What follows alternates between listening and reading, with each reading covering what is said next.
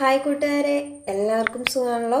അപ്പോൾ ഇന്ന് നമ്മുടെ ചാനലിൽ എത്തിയിട്ടുള്ളത് ഒരു നാടൻ കൊഴുക്കട്ടയുടെ റെസിപ്പി ആയിട്ടാണ് എത്തിയിരിക്കുന്നത്. അപ്പോൾ നാടൻ കൊഴുക്കട്ട റെഡിയാക്കി എടുക്കുന്നത് എങ്ങനെയാണെന്ന് നോക്കാം. അപ്പോൾ അതിനു മുമ്പ് നമ്മുടെ വീഡിയോ കണ്ടിട്ട് ചാനൽ സബ്സ്ക്രൈബ് ചെയ്യാത്തവരൊന്ന് സബ്സ്ക്രൈബ് ചെയ്ത് സപ്പോർട്ട് ചെയ്യുക. ബെൽ ബട്ടൺ ക്ലിക്ക് ചെയ്യാനൊന്നും മറന്നു പോയിക്കരുത് അപ്പോൾ നമുക്ക് എങ്ങനെയാണ് ചെയ്യുന്നത് നോക്കാം. അതിന് വേണ്ടിയിട്ട് ഞാനിവിടെ എടുത്ത് വെച്ചിരിക്കുന്നത് റവയാണ് എടുത്ത് വെച്ചിരിക്കുന്നത്. വറുത്ത റവയിലാണ് ഞാനിത് ചെയ്യുന്നത്. അപ്പോൾ വറുത്ത റവയിൽ ചെയ്യുമ്പോഴത്തേക്കും നമ്മുടെ ഇതിന് കൊഴുക്കട്ടയ്ക്ക് ഇത്തിരി ടേസ്റ്റ് ഉണ്ടാകും. പിന്നെ നമ്മൾക്ക് ചിരകിയ തേങ്ങ വേണം. തേങ്ങ നമ്മൾ എടുക്കുന്ന പൊടിക്ക് അനുസരിച്ച് നമുക്കൊരു കണക്ക് കാണുമല്ലോ. അതിനനുസരിച്ചുള്ള തേങ്ങ പിന്നെ ചെറു ചൂട് വെള്ളം വേണം. ഇത്ര സാധനമാണ് നമുക്ക് ഫസ്റ്റ് കൊഴുക്കട്ട ഉണ്ടാക്കാൻ വേണ്ടിയിട്ട് വേണ്ടത്.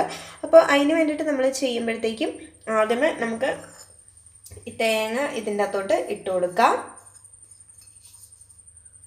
തേങ്ങ ഇട്ട് കൊടുത്തതിന് ശേഷം നമുക്ക് ഉപ്പ് വേണമല്ലോ. അപ്പോൾ കുറച്ച് ഉപ്പും കൂടി ഇതിന്റെ കൂട്ടത്തിൽ അത്യാവശ്യത്തിന് പാകത്തിനുള്ള ഉപ്പ് ചേർത്ത് കൊടുക്കാം. ഈ ഉപ്പും കൂടി ചേർത്ത് കഴിഞ്ഞിട്ട് നമുക്ക് എന്ത് ചെയ്യാം? ഇത്തിരി ചെറു ചൂടുവെള്ളം എടുത്തിട്ട് നന്നായിട്ട് എന്ത് ചെയ്യുക നമ്മൾ സാധാരണ ഉണ്ട പിടിക്കാനായിട്ടൊക്കെ എടുക്കുമല്ലോ. അപ്പോൾ അതുപോലെ കുഴച്ചിട്ട് എടുക്കണം. അപ്പോൾ വെള്ളം ചേർക്കുമ്പോഴത്തേക്കും പ്രത്യേകിച്ചും റവ ആകുമ്പോഴത്തേക്കും നോക്കി ചേർക്കണം. കാരണം നമുക്കിത് ഉണ്ട പിടിച്ചെടുക്കാനുള്ളതാണല്ലോ. അപ്പോൾ അതിനനുസരിച്ച് നോക്കിയിട്ട് വെള്ളം കുഴച്ചിട്ട് എടുക്കാനായിട്ട്. ഇപ്പോൾ വറുത്ത റവ എടുക്കുമ്പോഴത്തേക്കും ആയിരിക്കും ഇത്തിരി കൂടി നമ്മുടെ ഇതിന് ടേസ്റ്റ് വരുന്നത്. അപ്പോൾ അത് നോക്കിയാൽ മതി.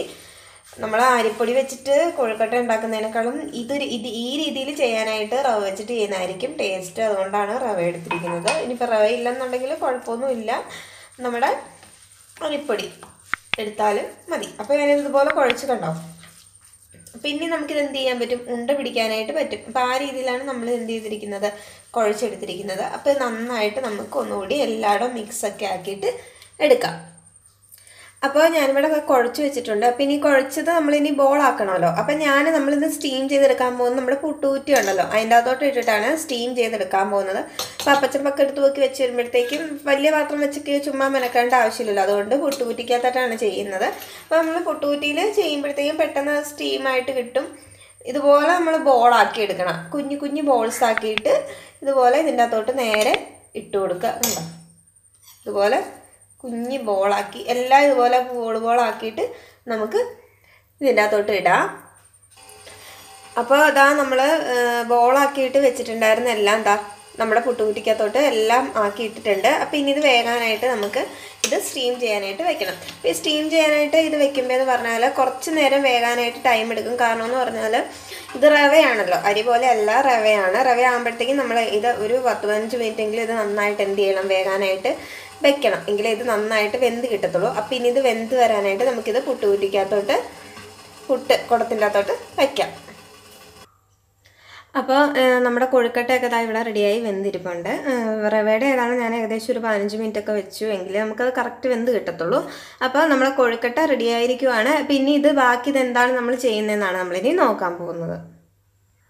അപ്പോൾ അതിന് വേണ്ടിയിട്ട് ഞാൻ ഇവിടെ ഒരു ചീൻചട്ടി അടുപ്പയിൽ വെച്ചിട്ടുണ്ട്. അപ്പോൾ ഈ ചീൻചട്ടി ചൂടായിട്ട് വരുമ്പോഴത്തേക്ക് നമുക്ക് ഇതിനകത്തോട്ട് ഒത്തിരി എണ്ണയൊന്നും വേണ്ട. വളരെ കുറച്ച് കുറച്ച് കടുക് പൊട്ടിച്ചെടുക്കാൻ വേണ്ടിയിട്ടുള്ള എണ്ണ നമുക്ക് ഇതിന്റെ അകത്തോട്ട് ഒഴിച്ചു കൊടുക്കണം. അപ്പോൾ ഇനി എണ്ണ ഒന്ന് ചൂടായിട്ട് വരട്ടെ.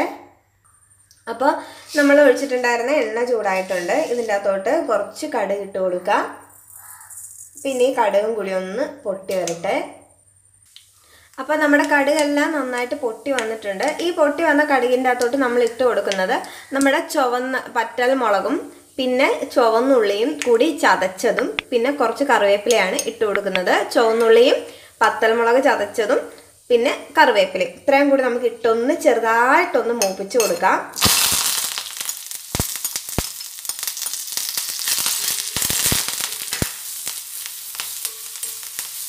തീ കുറച്ച് വെച്ചിട്ട് ചെയ്യാവുള്ളൂ കരിഞ്ഞു പോകരുത്. അപ്പം ഇതൊന്ന് മൂത്ത് വരുമ്പോഴത്തേക്കും ഈ സമയം തന്നെ. ഒത്തിരി വാടാൻ നിൽക്കരുത് ജസ്റ്റ് ഒന്ന് മൂത്ത് വരുമ്പോഴത്തേക്കും അപ്പം തന്നെ നമ്മൾ എന്ത് ഇട്ട് കൊടുക്കണം? ഇതിന്റെ അകത്തോട്ട് നമ്മൾ ഉണ്ടാക്കി വെച്ചിട്ടുണ്ടായിരുന്ന നമ്മുടെ കൊഴുക്കട്ട ഇട്ട് കൊടുക്കാം. കൊഴുക്കട്ടയും കൂടെ ഇട്ട് കൊടുത്തിട്ട് നന്നായിട്ട് ഇത് മിക്സ് ചെയ്തിട്ട് യോജിപ്പിക്കണം. അപ്പോൾ നമ്മുടെ കൊഴുക്കട്ട എല്ലാം നല്ല മിക്സ് ആയിട്ട് വന്നിട്ടുണ്ട് കേട്ടോ. പിന്നെ നമുക്കിത് എന്ത് ചെയ്യാം? അടുപ്പിൽ നിന്നും വാങ്ങാം. അപ്പോൾ എന്നെ തീ നിർത്തി കൊടുക്കുവാണ്. ഇനി നമുക്കിത് വാങ്ങിയെടുക്കാം. അപ്പോൾ അതാ നോക്കിക്കേ നമ്മുടെ നാടൻ കൊഴുക്കട്ട അടിപൊളി കൊഴുക്കട്ടയാണ് കേട്ടോ. ഇതെല്ലാവരും ഒന്ന് റെഡിയാക്കി നോക്കണം. നല്ല ടേസ്റ്റിയാണ് ഇത് കഴിക്കാനായിട്ട്. അപ്പോൾ ഇത് ഇത് എല്ലാവരും നന്നായിട്ട് എന്താണെന്ന് വെച്ചാൽ നമ്മുടെ ആ ഉള്ളിയും വറ്റൽമുളകും ആ മുളകിന്റെ കുത്തലുകാരനാണ് കേട്ടോ ചുമ വരുന്നത് അപ്പോൾ ആ ഉള്ളിയും പത്തലമുളകും കറിവേപ്പിലയൊക്കെ കൂടെ മൂപ്പിച്ച് എടുക്കുമ്പോൾ നല്ല ടേസ്റ്റ് അതുപോലെ നല്ല മണമൊക്കെയാണ് വരുന്നത്. അപ്പോൾ ഇതെല്ലാവരും ഒന്നും അറിയാൻ പാടാത്തൊരു പ- നമ്മുടെ ട്രഡീഷണൽ ആയിട്ടുള്ള ഒരു ഡിഷാണ് അറിയാത്തവരൊക്കെ ചെയ്ത് നോക്കുക. അപ്പോൾ നമ്മുടെ വീഡിയോ ഇഷ്ടപ്പെട്ടെങ്കിൽ ചാനൽ സബ്സ്ക്രൈബ് ചെയ്യാനും ലൈക്ക് ചെയ്യാനും വീഡിയോ ലൈക്ക് ചെയ്യാനും കമന്റ് ചെയ്യാനും ഷെയർ ചെയ്യാനും മറക്കരുത്. വീണ്ടും ഒരു നല്ല റെസിപ്പി ആയിട്ട് എത്തുന്നത് വരെ എല്ലാവർക്കും നന്ദി.